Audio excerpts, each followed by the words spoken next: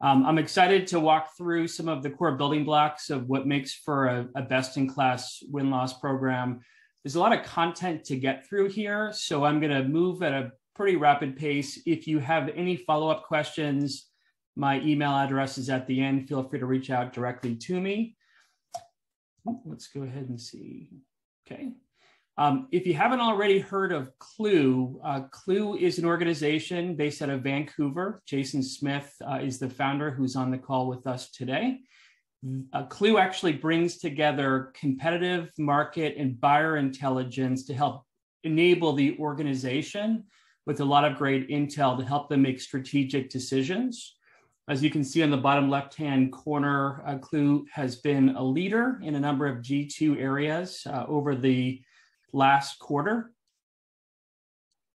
Ultimately, what Klue does is they pull together uh, information that's available, whether it's from internal sources, publicly available information, and now buyer intelligence to help create actionable insights and deliverables to help organizations be more competitive. So Klue helps to support sales, marketing, product, customer success, competitive intelligence, the leadership team, really anybody who is involved in planning and strategy uh, and selling for the entire organization. There's some stats down here at the bottom.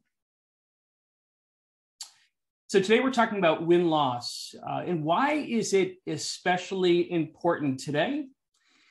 When we look at what's happening out there in the economy, we're all facing headwinds. Uh, and those headwinds mean that we're seeing budgets shrink or just go away completely. We're seeing buyers move from one organization to the next or to nowhere. You know, we might have an opportunity with somebody and then they're gone the next day. Um, our marketing qualified leads are shrinking o- over year over year. Our pipeline, of course, is shrinking as a result of that. And NRR is also suffering quite a bit. So, a lot of the key metrics that we depend on to look at the health of our organization, and we hope that they go up this year, unfortunately, are, are going down. And because there's less budget out there, we have more competition for that budget. So, competitors are doing all kinds of things to try to scratch and claw to get those deals that are out there. Um, so it's become more and more competitive than uh, than it has over the past couple of years. At the same time, because those competitors are making all kinds of strategic moves to try to get those opportunities out there, we're seeing things like consolidation. We're seeing desperate acts from different vendors who are trying to win deals. Partnerships are being formed to try to bring two like organizations or complementary organizations to create more of a compelling value proposition. Incentives are being offered. We're seeing all kinds of things that are different than this time last year. The challenge, however, is that while some people have great resources and a setup to be able to keep pulse of what's happening out in the marketplace and be informed of those changes, most of the time organizations don't. They don't have a regular source of information from um, competitive intelligence, from buyer intelligence. They're just they're struggling a little bit today, and they're losing out to those organizations who do have that that well thought through information infrastructure in place. Um, and a lot of those organizations are, are, really turning to sales to be able to understand why they're winning and losing deals. They're going to reason codes uh, within a CRM system. They may even be interviewing sales the challenge, however, is that you know sales doesn't always know the answer to the question of why they won or lost. They might guess, um, and they often don't provide a very detailed account of what happened. Um, in addition, you know, buyers are the people who really understand what happened soup to nuts in every evaluation they're part of. So we believe we've seen, you know, much greater information coming directly from buyers than sellers. So those organizations who are taking the step to conduct win-loss interviews themselves are getting more reliable and more complete information. And of course, self-serving, this is my, my one plug for the, the presentation, but those who turn to third-party win-loss firms like Klue um, get a lot of really great insight to be able to help inform strategic decision-making. So today, uh, we're going to be focused primarily on your in-house win-loss efforts and how to structure a winning win-loss program.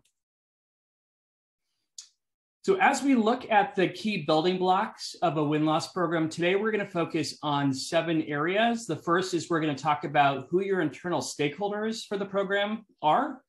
We're going to help you identify what the learning objectives are for those stakeholders. We're going to then move over to looking at your transaction volume and helping you determine who are the right targets, the ideal interview candidates to reach out to. We're going to help build your conversation guide or your interview guide to interview those, those targets. We're going to provide some tips on outreach strategy, how to get people to speak with you, how to conduct, conduct awesome interviews to get detail, deep, detailed intelligence, and then how to analyze that data uh, to create meaningful research deliverables that will help drive the type of change you're looking to have um, happen. So let's start off with identifying your stakeholders. On the right-hand side, these are the usual suspects uh, as far as stakeholders are concerned for most win-loss programs. Um, they're typically the functional leaders within your organization who can benefit from some intelligence that is offered by buyers during win loss surveys or interviews. If we look at product marketing as an example, um, product marketing is super interested, as you all know, in understanding their go to market blind spots. How is our message resonating? What are our competitors doing? What type of work can I do to help enable sales? So they're squarely in the middle of the target for being a beneficiary of a win loss program. Then we have product management. So these folks, as we all know, are really eager to understand how their solution is being perceived in the marketplace. Where might their gaps be? And then what do buyers feel they should prioritize as it relates to their roadmap? So any information these folks can get through win-loss program will feed right into their product visioning and strategy meetings um, to help prioritize and just inform maybe blind spots uh, that are needs of the marketplace that they were unaware of. Also, getting a lot of great competitive intelligence. What are our competitors offering that is resonating um, that we're not offering today? Then we move into uh, competitive intelligence, of course, looking to understand everything they possibly can about our competitors, whether it's their product differentiators, their pricing and packaging differentiators, what their go to market strategy is, what are they saying about us as an organization, what is their sales team doing differently or better than we are today. So, any intel related to competitors. And this is a huge opportunity within most win loss programs to collect a lot of insight that they couldn't get otherwise. Uh, sales enablement is the next usual suspect. So, of course, we're digging deep into how each salesperson or sales team performed during the win loss, I'm sorry, during the, the sales process to be able to unpack did they differentiate well? Were they able to articulate the pricing model? Were they professional? Did they add value? Were they consultative or transactional? So this information is super helpful for not only sales enablement, but for the sales leadership team to help make sure they're investing in the right areas of sales training to improve their outcomes and, and win more deals at the end of the day. Um, then we get into customer success. Of course, this is really tied to churn. So when we're looking at win loss programs, we include churn as part of the scope of most of these programs. So, where today we're seeing big NRR hits across the board, customer success is eager to understand what can we do to retain more clients and more wallet share? What are the things that our competitors might be doing to, to encourage our clients to look elsewhere? Um, if I was to go back into the customer lifecycle, what changes can I make to make sure that our clients are happier in getting more value out of the program that we put in place with them? So, another great opportunity for win loss. And then finally, senior leadership. So, we are seeing a lot of boards require their senior leadership to come to board meetings prepared to talk about the competition in detail, uh, prepared to talk about win loss reasons in detail And up to this point, you have a good group of leaders who can do that. You know, they have a pulse on what's happening in their opportunities, but there are many who don't. Um, and they're quite separated from what's happening at the field level. So win loss programs help to inform those leadership teams uh, to make strategic decisions, but then also to help with uh, their board meetings to make sure that the board has a good understanding and a confidence in that leadership team that they're doing the right things and they understand what's happening in their in their space. So those are the stakeholders. Um, so at this point, you know, when you think through your organization, there are different flavors of win loss. They might be more heavy, heavily focused on competitive intelligence or product feedback. But who are your stakeholders? Write those folks down. We're going to now go to the the next phase, which is really trying to unpack what are those stakeholders interested in as it relates to win loss research? Um, are they interested in business drivers and really trying to identify why organizations are looking for solutions in the first place? Are they trying to unpack what specific criteria are those are those buyers looking for when evaluating our solution as compared to others? So there are a lot of different potential areas that your stakeholders may be interested in but it's really important to sit down with each one of them and go through and kind of conduct an interview of sorts.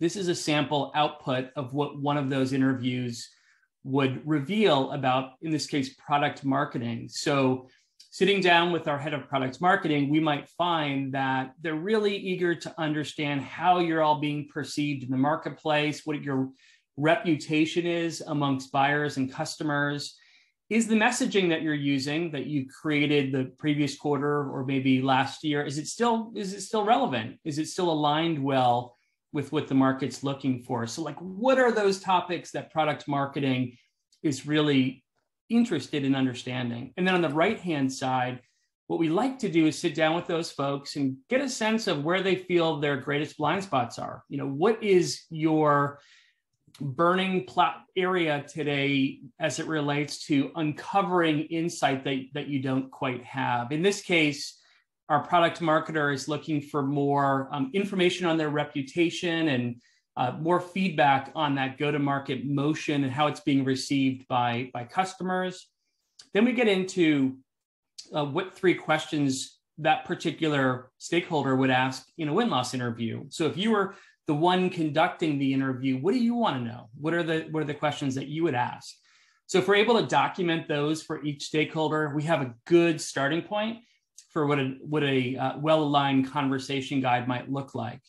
and then at the end there, you want to really ask each stakeholder like what is their vision for the use case uh, if they had the data today. So if you're a product marketer and you have all this great feedback about your messaging or about your your reputation? Like what are the, what are you going to do with that information? Like how are you going to take that insight and turn it into some sort of training or go to market campaign or inform the leadership team? Like what are those things that you will do with the data uh, once we have it so this is an example of what one of those interviews may look like, but we recommend that you sit down with all of those stakeholders that you've identified to be able to have this discussion and capture this information.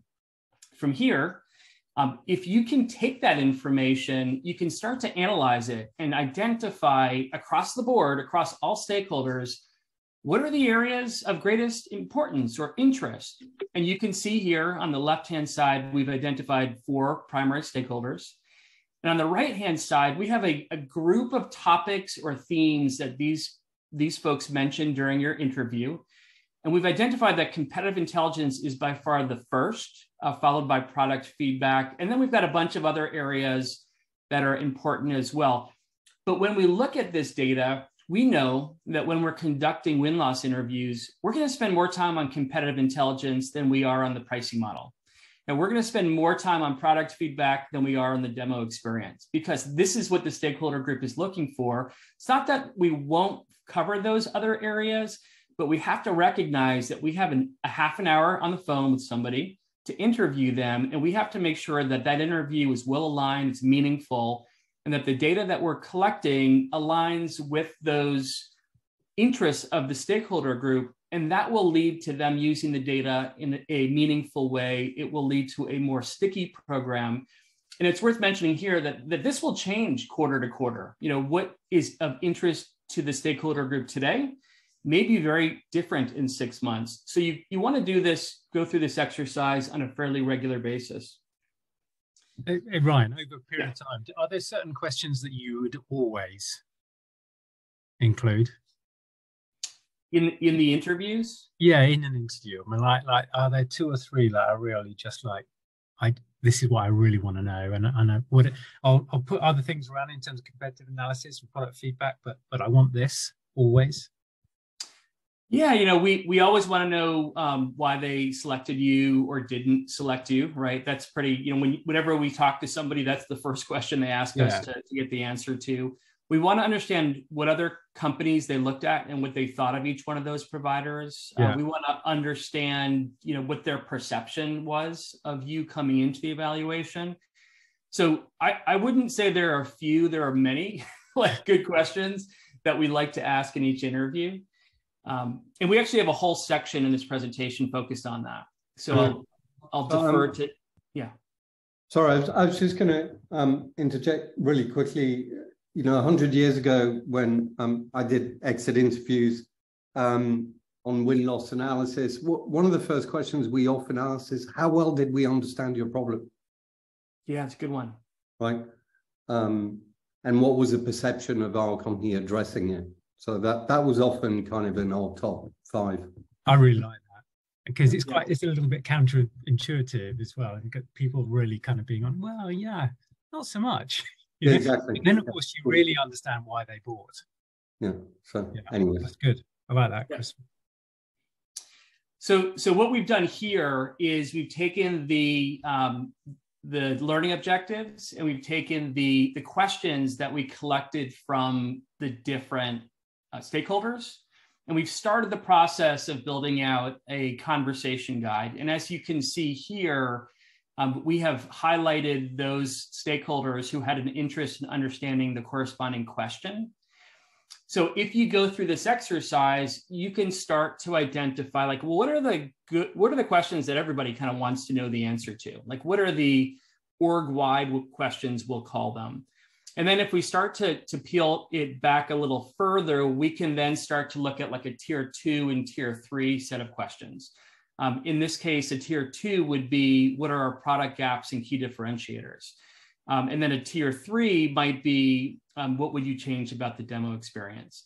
So th- this is a technique that you can use to try to figure out and prioritize what key questions should be worked into your conversation guide. These might be questions that you've already you're already planning on asking, but it's important as you're going through the process to say, okay, well, that was an important question for our stakeholders. It's already in my conversation guide, but I want to make sure not to skip that one and maybe even probe a little bit deeper into the answer that I get back.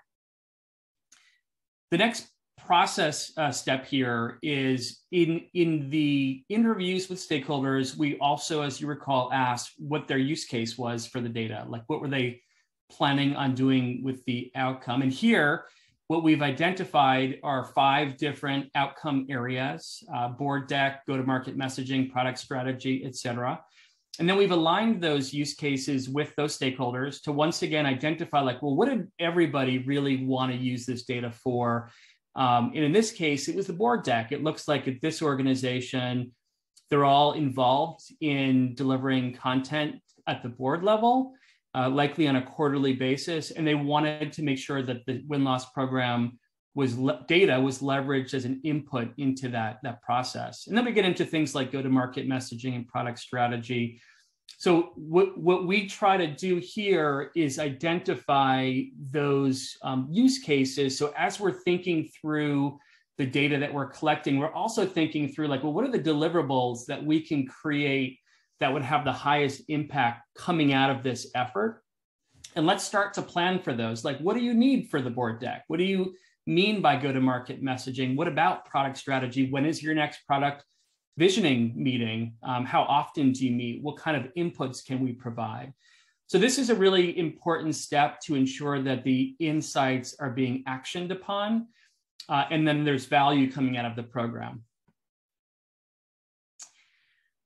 So here, you know, as you're going through those stakeholder interviews, we want to make sure that you you learn something through the process. And once you've gone through this analysis, you do want to meet with your stakeholder group as a team once, and then go through what you've come up with, just to make sure everybody's aligned with your analysis and that you're you're approved to move forward with um, with with the recommendations that that you're that you're making here at this point.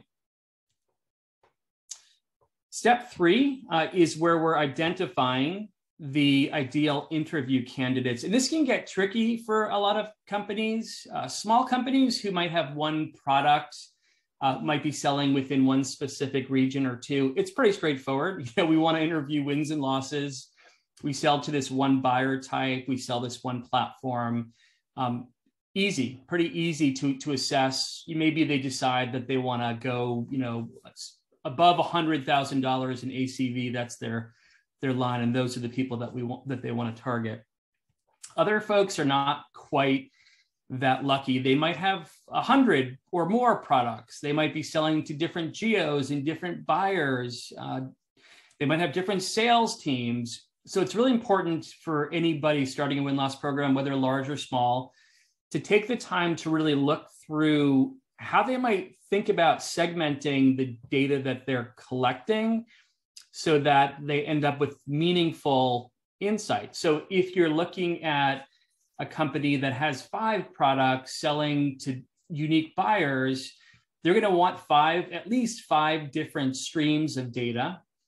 They're going to want to be able to isolate those streams and analyze those streams in isolation to be able to identify like what's going on with product A versus B versus C. Uh, what you might want to do is download your transaction volume from the previous quarter and start to look at the filters uh, that are applied against your target list, whether it's region or product, deal size. That's a good way to get started to identify, like, well, how could we think through filtering and creating these segments?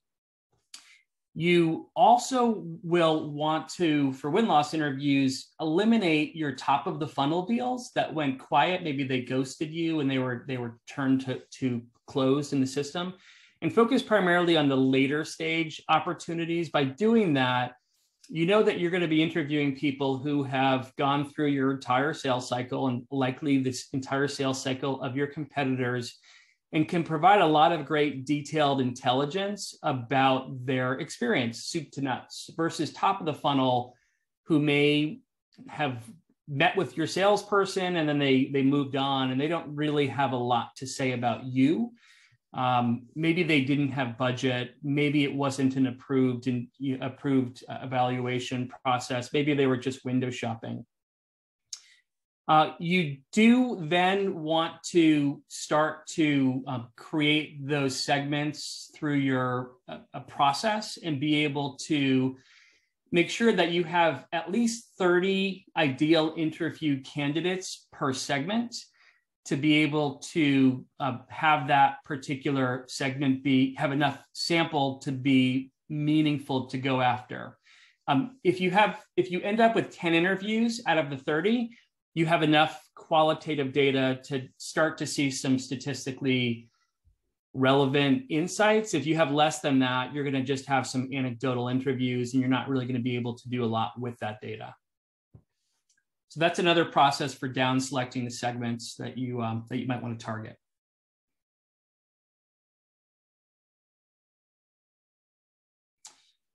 So when we uh, move through the, the next phase here, we're starting to think through that interview guide. And now that you know what the learning objectives are, and you've started to collect uh, uh, some questions from your stakeholder group, you can that next start to really figure out like, well, what are the sections of the interview and what are the types of open-ended questions that I might decide to include here? Keep in mind with a half an hour interview if you're if you're asking open-ended questions you might get to 12 to 15 solid open-ended questions so you really have to prioritize your efforts here to make sure that you're um, not creating a super long interview guide that you'll you'll never finish during an interview itself.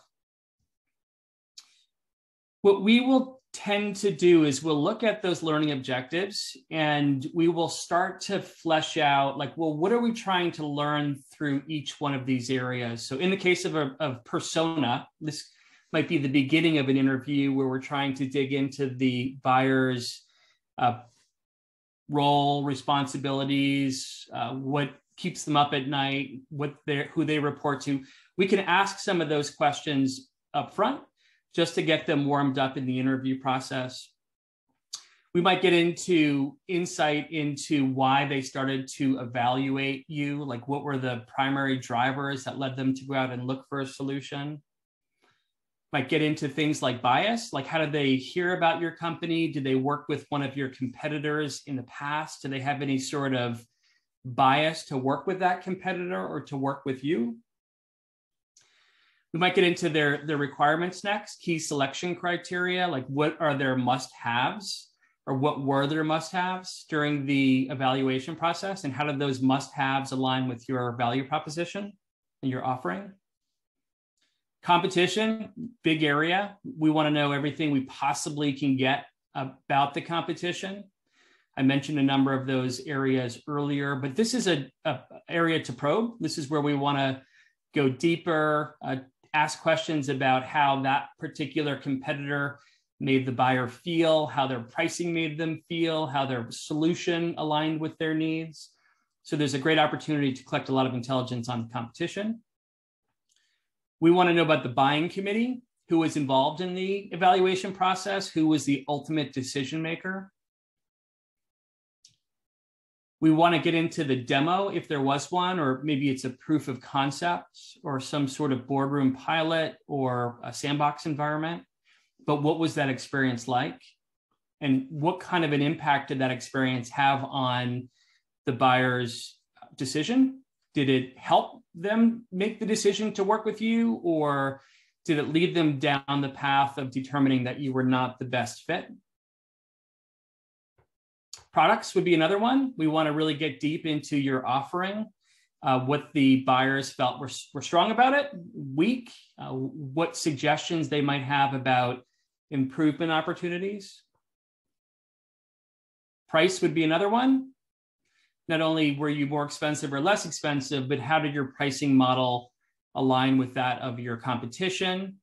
What about the uh, price to value? Was this something that they felt the juice was worth the squeeze? Your offering was uh, so strong that the price was not an issue. And then sales would be, oh, we've got a visitor.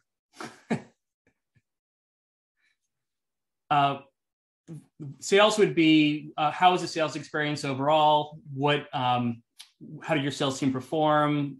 How were their traits and skills during the sales process? How were was their ability to address objections that may have come up. So, uh, really strong questions on the sales side as well. So, these are just a handful of different areas that come up quite often during the course of the work that we do. But for you, um, you have to go back to those stakeholders, go back to their learning objectives, and really try to build a conversation guide that helps to inform what you're trying to get out of these interviews, but also once again aligns well to their, their needs. The call to action here is to meet with them once again or to share the interview guide that you've created with them and have them provide feedback. Did they did you capture the things that they were looking to have captured? Did they think of another question that they'd love to have answered? Um, what is a priority to them and what is not a priority to them? So this fine tuning is a final step for completing the, the conversation guide. Now you're ready to start with recruitment. Uh, this would be a whole other hour long presentation. So I'm going to just give you some very high level tips on interview recruitment best practices that we've seen. The, the first tip here is if you have a good relationship with your sales leadership team, um, sit down with them, plead with them, and ask them to make sure that your sales team is bringing up a post decision interview with their buyer while they're still involved in the sales cycle. So maybe they're at the shortlist phase. At that point, the salesperson should ask the buyer, "Hey, you know, we we take feedback very seriously. We work with uh, our product marketing team to collect information. Would you be open to providing feedback, whether you choose us or not, after you've made a decision?" And at that point, they're going to say yes. They're never going to say no. And you've taken a step towards pre-qualifying them for the interview itself, which will lead to higher interview acceptance rates when you're going through your recruitment process. Because that salesperson will introduce you to that buyer and say, Hey, remember when you said yes to that question I asked? Now I'm introducing you um, to, to Frank over here, who's going to be following up with that interview. The next one is, is leveraging win loss interviews during the, the negotiation phase, whether uh, that turns into a win or a loss but having the the quid pro quo in your pocket to respond to somebody's request for a discount or request request for additional services or a longer contract term if you're willing to do that and you're looking for a good quid pro quo uh, this is a great one you know would you be open to providing feedback if we were to give you that discount uh, would you be open to providing feedback after you've, you've uh, made the decision or signed the contract the third is to, to offer an incentive.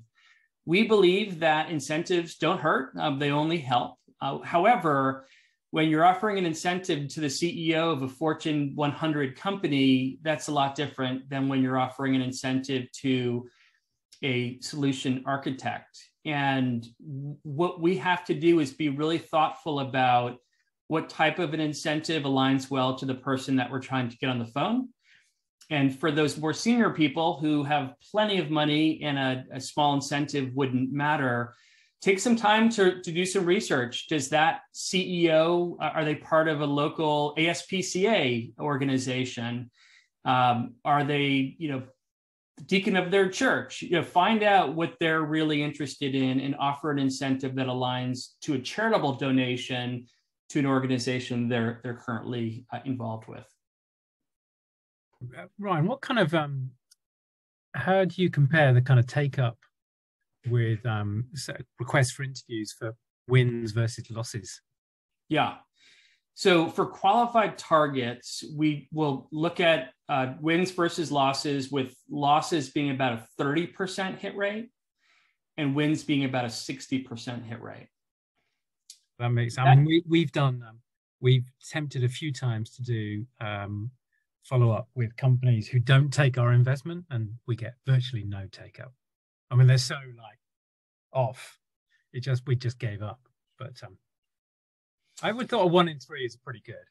Yeah. Yeah. I mean, we, so we, we've done that kind of work. I think I, I, I may have mentioned we've done some VC win loss regarding yeah. funding. Yeah and I think that the uh, the thirty percent applies to the work that we've done to, to, getting people to respond to us. I mean, it does have to do with the relationship uh, between you and the the founder or CEO of, of that company or the board of that company. But by asking them, you know, early on, like, hey, I, you know, whether you take our money or not, would you be open to feedback? That that will improve your rates uh, exponentially. The, the, call to action here is to meet with your head of sales uh, to discuss the outreach strategy, uh, leverage some of the tips that we just provided to see if they'll be, agree to getting sales to mention that post decision interview while they're still engaged in the sales process. Um, step six here is how to prepare for the interviews. So, not many people who conduct in house win loss interviews have done them before. So a lot of times people are looking for tips on what the best strategies might be.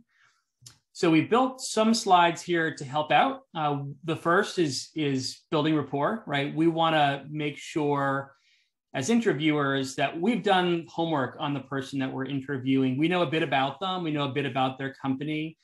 That work up front will make them feel uh, like you, you know, took the time and there's more credibility there than just jumping right into the interview and asking questions. So spend a few minutes uh, building a little bit of rapport. Express gratitude. It's important to make sure that these folks that we're interviewing understand that we know they're busy and we know that they're they've made a conscious decision to take the time to spend that with us to be able to give feedback. So we really want to recognize uh, that up front by thanking them for their time. We want to also let them know how the data will be used. Sometimes people get a little squirrely because they're not sure if the data is going to be used for marketing purposes or who's going to see the feedback they provided. So being upfront about that helps to put them at ease and creates a bit more of a safe environment and then once again let's talk about that incentive and just confirm like you know we we offer this incentive via email just so you know immediately following this uh, this interview we're going to send that to you. Or maybe this is an opportunity to ask them about that charitable organization that they're hoping we can make the donation to. All of this being said by, by going through this process up front you're you're kind of lowering their wall a little bit. You're softening the beach uh, and you're you're kind of building that rapport so that when you start to ask the questions they feel more comfortable opening up to you the other thing is when we're actually going through the interview process we don't want to jump right into questions about the competition or jump right into questions about the price. We want to make sure that we're following their journey during through the evaluation process that we start at the beginning uh, about what led them to look for a solution and we finish at the end about the selection that they made and you know possibly some questions about their experience since making that selection we we do want to just follow that natural flow. It's a more comfortable flow for them um, and we'll get more interesting insight more of a story if we take this approach. And then we do like to practice the five why uh, technique, root cause analysis, by really finding those areas, those learning objective areas that are important, and making sure that when those topics come up during the interview, we're probing into those answers to try to get more interesting, meaningful, measurable information. So in this case, the the the problem uh, why this organization was looking for a new uh, solution is is they they were looking to replace their their incumbent provider but then we get deeper like well why why was that? Why were you looking to replace them? And they they mentioned that the provider was no longer able to support their needs. And then we go into the next level of why. And at the end of this we find out that this particular organization had a disaster happen when one of their on-prem solution providers stopped supporting um, that platform, that application, um, and they had to to rush to figure out how to maintain that. And they decided as a board that that was too disruptive to their business, and they'd like to move to a fully cloud infrastructure moving forward, which is what drove this organization ultimately to look for a new solution. So Sometimes people will just give you all of these whys up front when you ask them the question about why they were looking for a solution. But oftentimes you have to probe. And if you're a good interviewer, you know you have identified that there's more there and you you really want to practice this approach to getting as much great insight as possible All right. So uh, here is it, take the time to really figure out like what are the key elements of your approach? What are you going to do uh, to make sure that your interviews are meaningful and deep and, and thoughtful? Um, what steps are you going to take in preparation for those interviews? And what tactics are you going to take during the interviews to make sure you're getting a lot of great insight? Here uh, we're gonna we're gonna wrap up. Let's oh, see. sorry, uh, just something yeah. else occurred to me. Sorry interrupting you. Do you ever do a larger scale kind of um, self-service within this, where you might say, like, here's a dozen questions we want to ask a big audience, or is this always primary first-person interviews? Yeah, so there, there's different techniques for collecting uh, data at scale. Surveys are certainly one of those. Um, you know, we're I think there's a lot of market research firms who will take a script and they'll just call and go through, you know, here are the five questions that uh, that you want to have answered. We we tend to have more organic conversations with people yeah. when we're collecting data. It's uh, I guess anybody could could read you know the five questions and get the answers. And there are technology. I know Qualtrics, as an example, has come out with the capability to send an email to somebody with with uh, questions and capturing their video response. You know, so it's not uh, it's not quite as deep deep deep as you would get in an interview, but it's not as shallow as you get in a survey. Um, so there's different approaches for that as well. That we're we're looking into at Klue to try to do this at scale. Uh, so when you look at analyzing and sharing your findings, this is a part a part where people tend to get a little bit hung up. They've collected all this data. Um, this isn't their primary job. They have other projects that they're working on, and they're really trying to figure out like how do I take what I've collected and turn it into something that is going to be impactful across my functional leaders with sale, the sales team that aligns with the use cases that we identified earlier. So a little bit of an eye chart, but just wanted to show you how we think through analyzing data. So when we conduct an interview, we typically will record that interview and we'll end up with a 15 page interview transcript.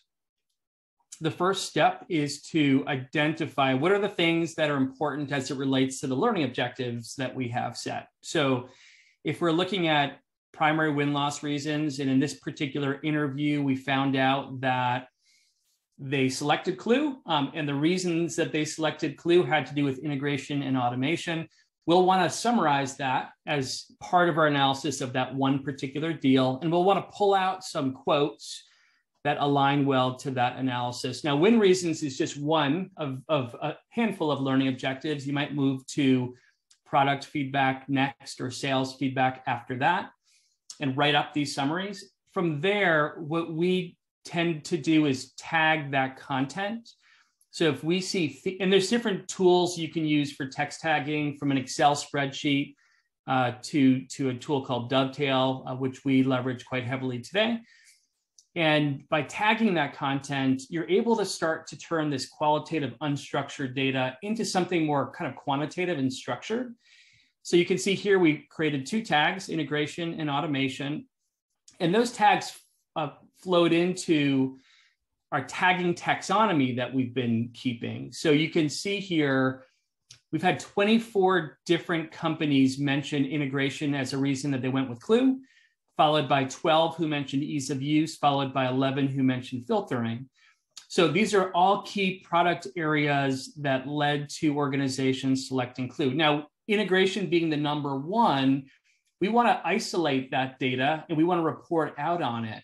So because of the tagging that you've done, you can pull all those integration quotes into a, a document and you can start to share that document and share some analysis of that document with your sales team or your leadership team because you've been able to identify pretty quickly that your ability to integrate with core systems has led to many wins for you in the previous quarter. And if you start to identify these trends, um, you can start to report out on all kinds of different areas related to your go to market motion, uh, your product, your pricing. So the tag group there under identified trends is related to product, um, but you know we create win loss reasons, business drivers, selection criteria, competitive trends, uh, focus on specific competitors there's a whole lot you can do with, uh, with text analysis. Um, from there, what people tend to want to do is present their findings to the leadership team. Uh, the leadership team sometimes will read every interview summary that you create, but sometimes they're just too busy for that and they just want the, the whim, the what it means. So here uh, we will start off by identifying what are the key themes from that particular research area that the leadership team should be aware of. Um, and we should, we'll document those at the beginning of the presentation. And then we'll get into each one of those learning objective areas and report out on, you know, what were the primary win or loss reasons? What did people share about our product?